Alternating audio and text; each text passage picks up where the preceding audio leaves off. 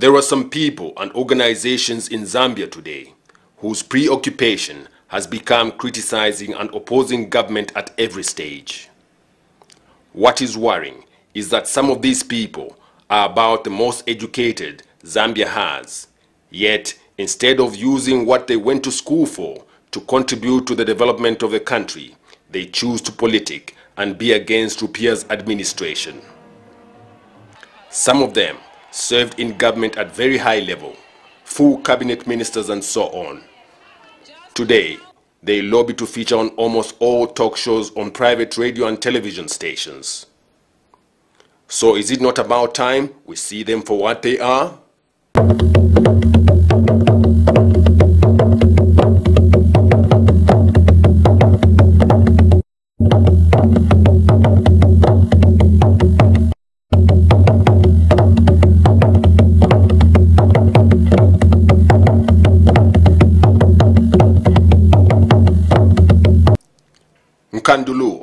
Very highly trained microbiologist, now a full-time Patriotic Front PF cadre, is one such person.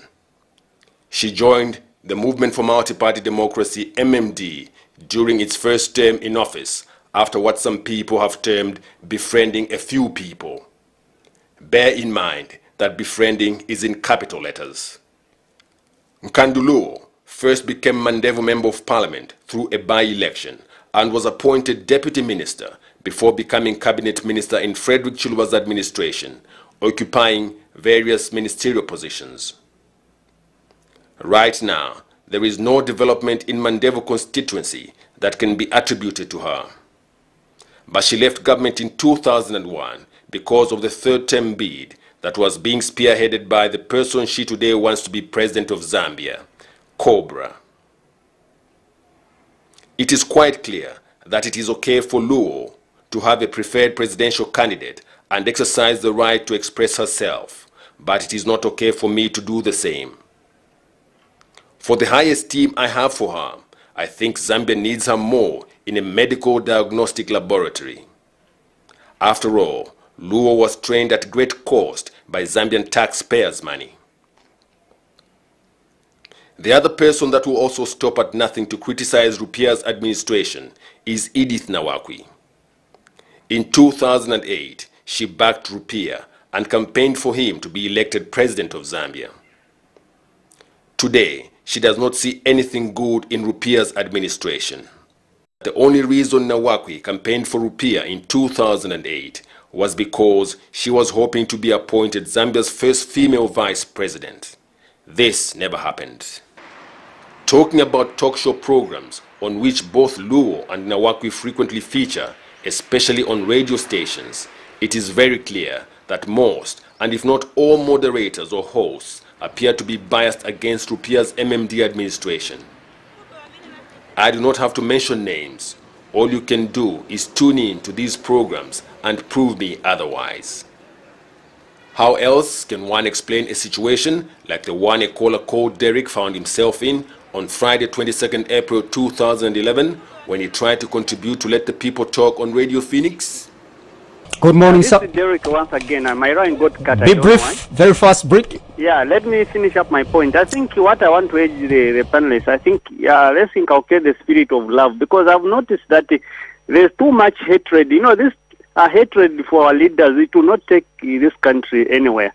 Uh, the previous Derek, how do you love them if they are not doing the right thing? You are Yeah, preaching now, love, someone what I out want there to going out without Now, eating. That's why people that- are having a problem. Can you help them? Yes, what we are saying that uh, let's not hate leaders personally. Let's hate the bad policies that are in place because we are all Zambians at, at the end of the day. So if you you hate somebody, Thank you so much, Derek. I've picked your point. Too bad for Derek. He was curtailed even before he could make his point.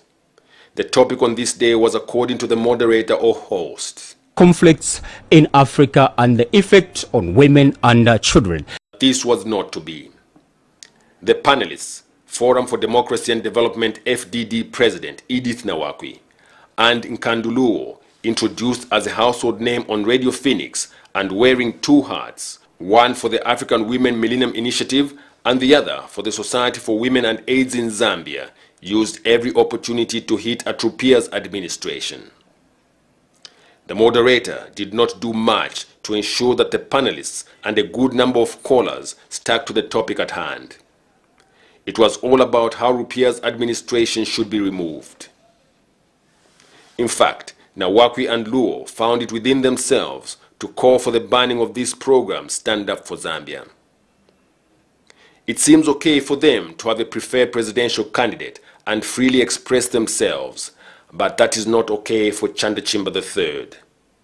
Now the difference between this program and the radio phone-in shows they feature on is that I made it very clear in the first episode in 2010 that I shall talk about and expose all those that are forever criticizing Rupiah's MMD administration. But the biasness against government of some of the moderators on phone-in programs on some private radio stations is what really should be questioned. If the topic is conflicts in Africa and the effect on women and children, it should indeed be just that. And moderators must ensure panelists and callers stick to the topic. Now, George Mpombo, former Minister of Defense, is one person who never ceases to amaze me. Appearing on Muvi TV's The Assignment, he lied when he told viewers that he resigned from Rupia's government because one of the president's sons was cutting an arms deal for Zambia from which he was to get 10%. Pombo is a loose cannon who, as a matter of fact, first of all never accepted Rupia as vice president. Pombo, who can now only be best described as embattled, found Rupia's appointment as vice president by Levi Mwanawasa a bitter pill to swallow. That is why he even found it very difficult to accept that when Levy was taken ill in Egypt, Rupiah was to take charge of running the affairs of state. Word went round then that Mpombo was saying because he walked Levy to the plane and was the most senior government official to see the president off, with what happened, he should have been acting president. If I remember correctly, George Kunda, as Minister of Justice then, cleared the air. The vice president was to act as president. Levy unfortunately passed on, an election was held, and Rupiah emerged victorious. Looking back, it is clear Mpombo was putting up a plastic face, and he could not stomach the fact that the person Levy had brought in from a farm in Chipata was now head of state, his confirmed boss. Now that Mpombo is in a very serious league with Cobra's PF and Fred Namakando members post, it is not surprising that he will pursue any avenue to hit at Rupiah. I'm sure if he had not fallen out of favor with the MMD and subsequently expelled, he may not have made the allegations. All cabinet ministers are advisors to the head of state, but apart from making the arms deal allegation, Mpombo has not stated what sort of advice he may have given his boss. It seems all too clear that he is out to paint a bad picture of Rupiah and his family in the eyes of the people of Zambia. He is out to tarnish the image of Rupiah's son, James, who is involved in legitimate business and was in business even before his father became vice president and subsequently elected president of Zambia.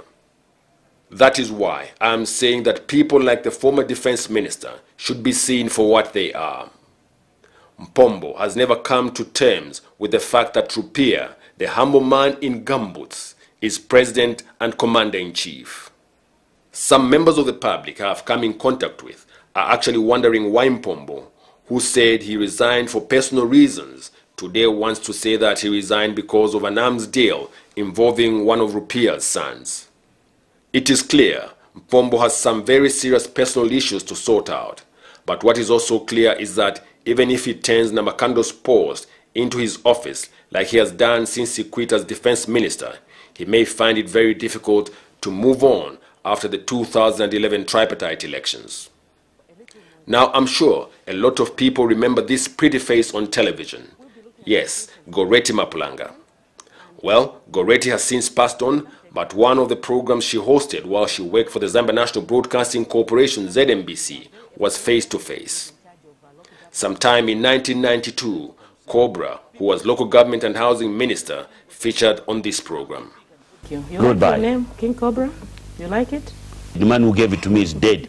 so if somebody die, who, is, who gives you the name dies, how can you refuse it? Mm. Accept it. And may his, re- may his soul rest in peace for Mr. Yumba. The Cobra gladly accepted this rather satanic name, King Cobra, on national television, and bear in mind, there was no other television station then. So today, Nawakwi and others should accuse me of insulting this man because I refer to him as Cobra?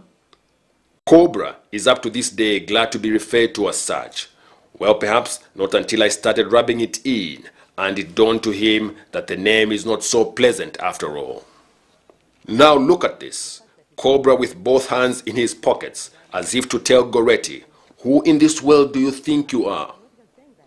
Yes, for a good part of this interview with Goretti, Cobra had his hands in his pockets and sat on the edge of the stool as if he was ready to take off to God knows where.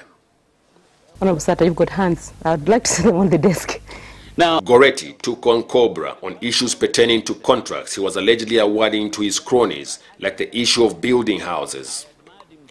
The Weekly Post had written something about some housing construction in Lusaka's Chilenje Township awarded to a company owned by George Memegas, a very personal friend of the Cobra, Mezaf Construction. the problem with the media in this country, you see, Kaunda did not only damage the economy, he damaged your heads. and the potholes in your head, for them to be repaired, it will take another 27 years, So if maybe, not more. maybe the Now, government me- can send us to school. No, no, we don't send you to school. We panel beat your heads. But Right. now let me start.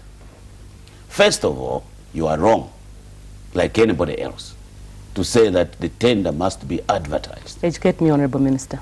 Two, you are wrong. You are right by saying you pick the best. Now, there are tender procedures. The tender procedure one, there is a public tender, depending on the time you have. There is a selected tender. The tender board, the tender authority decides.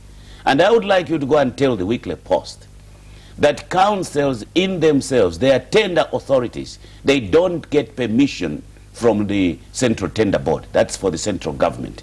Each local authority is a tender authority on its own. So Two, you, now can, wait a minute, I'm you can get tender from your friend. Now listen, doesn't matter. Two, two, they don't need to rely on those people who are registered by public works as they put it in their paper. Now, how do you go to tender? You see, you don't even have dictionaries to understand the tender. The tender is, before you go to tender, as the tendering authority or the employer, you have your own estimates. And when you have your own estimates, you are going to accept tenders which you think are realistic and nearer to what your estimates are. And that's why on every tender, whether it be government, private, local government, there is a provision or a clause which says it is not necessary to accept the lowest tender.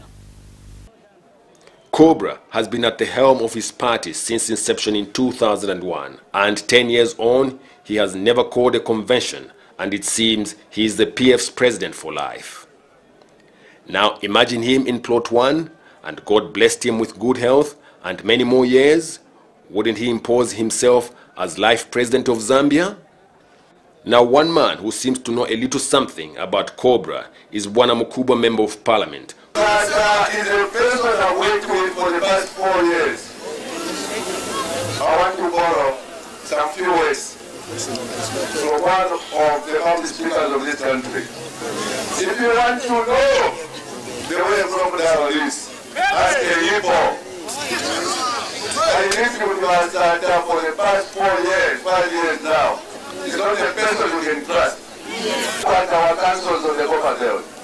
I'm a councillor at Zona City Council here. We have failed. Oh, yes. Because I just too many TF Yes. councillors. Some of them are not even supposed to be there. Yes. You people can wish of somebody because of the mistake which you made. No one will forget that mistake. People of Ndola, Kabushi in particular, where I was born and grew up, don't vote.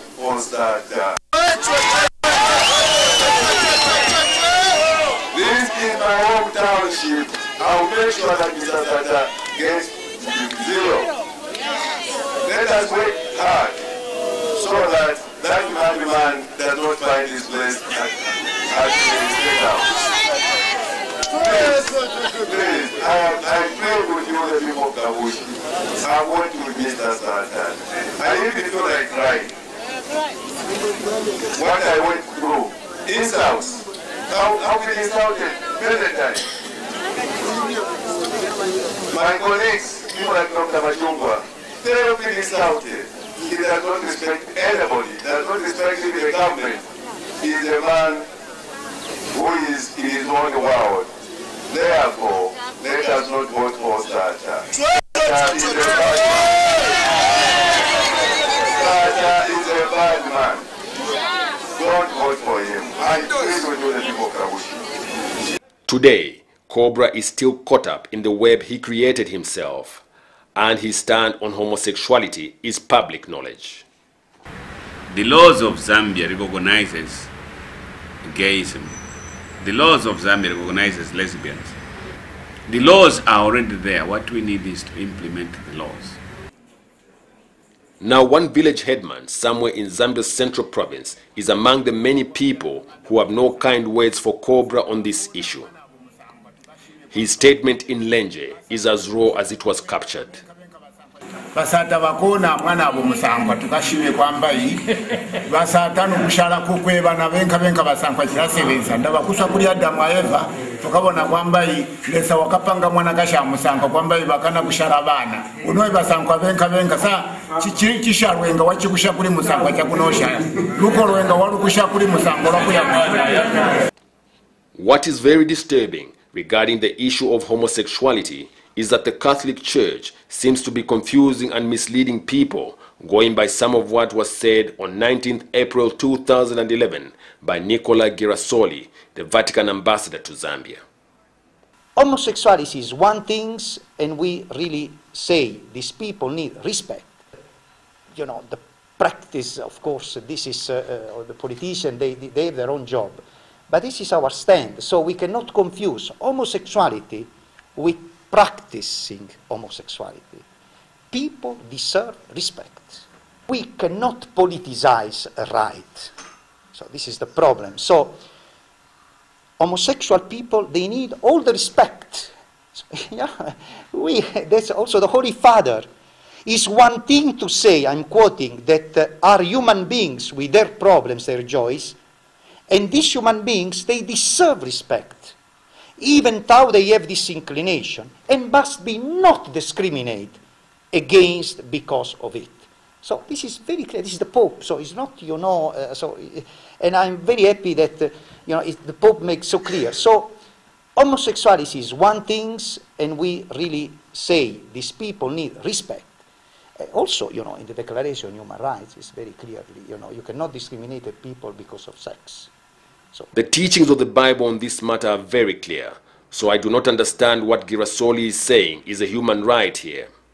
Men having sex with men and women having sex with women, a human right, and that such people must be respected? Lord have mercy. No wonder it is alleged that homosexuality is a serious ritual in some priestly orders of the Catholic Church. And no wonder it seems okay for a Roman Catholic priest to be with another man's wife in some room at a lodge in the dead hours of the night. No wonder the Cobra, a so called Catholic fundamentalist, seems to be okay with gays and lesbians, and in his wild imagination thinks there are laws in Zambia that recognize such abominable acts. Yes, there may be a few people in Zambia who may have flipped to that side, but that does not make it right. It must be seen to it that homosexuality is nipped in the bud. Zambians should actually be very careful with politicians like Cobra, including some clergymen in the Catholic Church who are forever criticizing government. See them for what they are.